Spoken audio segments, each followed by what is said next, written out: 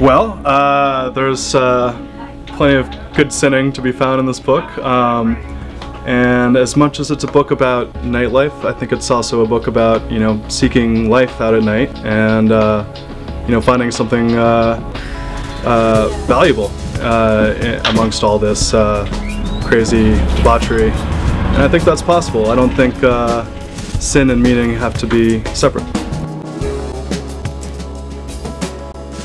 Well, I mean, when he said that it was about the possibilities, that's that, that, that just captured it right away because it's always, you know, you're never sure why you're going out and so you see some friends. There's definitely that. I think there's a uh, there's a section in my in my book about when we talk about actually hopping in the cab and Zoo throwing on his uh, iTunes with iMix and the beats coming on, and that's really just the that's like when you really feel like you're you're you're headed out into the night when you're you know going going in a cab, and the New York cab drivers are so crazy. You know, they're swerving in and out, and you're pushing against the back of the seat, and we're an adventure in itself. Yeah, an adventure in itself, and the music is bumping, and we're lighting cigarettes and opening the windows, and it's just the whole the whole thing, and and, and there's there's something just awesome about that. And you're you're headed downtown, and, and the night's all ahead of you, and the the green lights are kind of, you know, opening up before you, and you're just. Uh, so there's there's something amazing about that.